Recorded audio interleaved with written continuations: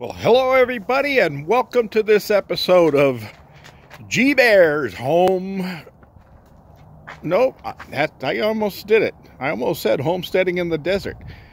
G Bears off grid ways, homestead in the desert. Yeah, I just got back from the trip down to the OC. I'll show you, I did take my star off of my Christmas cactus and I put the Christmas decorations away. But uh, we got a uh, forecast for the next six days.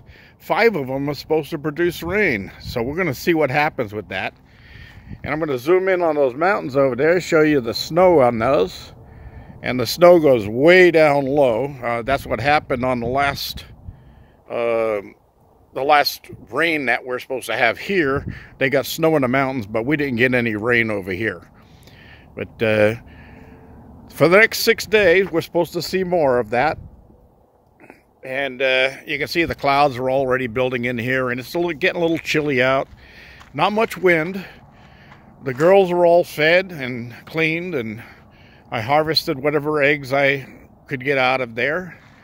And uh, all my plants are doing well, as well as can be expected with the cold temperatures we've been having. And I'm going to get some work done tomorrow. Hopefully the uh, rain won't start until later in the day tomorrow. I'm going to get the ATV out and see if I can't get that pond dug a little bit deeper and get down to some really hard packed clay so I can hold some water in there for a little bit longer than uh, normal. And uh, I'll try enlarging that thing. I need to go uh, pick up some gasoline. I, I'm down to about a quarter tank on the ATV, so I uh, loaded up my uh, gas bottles or, or my uh, fuel bottles, and I'm going to go get those filled up. I did bring these up from my friend Vince's house. I got those three filled with water. So I'm going to go around and make sure everything is topped off except my rain barrels. And uh, we'll go from there. I also brought some uh, dog food back for my neighbors, uh, John and Letty. Uh, see if they uh, can use some of that for, for the dogs that they rescue. And uh, we'll go from there.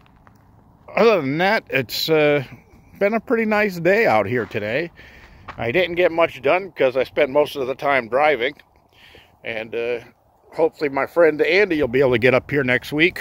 Um, I don't know if he wants to come up in the rain or not, but uh, uh, if the streams are flowing, you never know. There might be some gold coming down. He wants to do some gold panning beautiful look at the mountains over there and uh, we're going into sunset here but uh, the clouds are like I said building in. So let's see what happens with that. This will be a short video tonight. Just want to let you know I'm okay. Everything is going fine. Um, I was going to do some digging on that uh, uh, gray water catchment there but uh, can't do anything with the uh, the the water had gotten the bottom there, the ground ground freezes, and by the time it thaws in the daytime, it's too late to do any digging anyway. So we'll have to wait for the weather to break. That's all for today. Don't forget, if you like my videos, give me a thumbs up down there.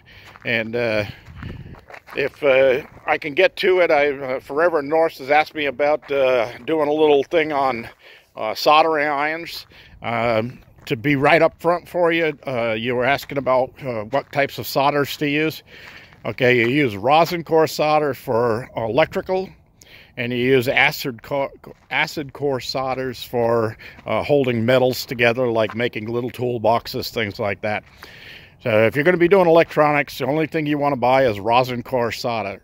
And uh, I, will pull out one of the rolls I have. I'll show you the uh, uh, everything that's on there the way they uh, specify it so that you know exactly what to buy. All right, G Bear signing off.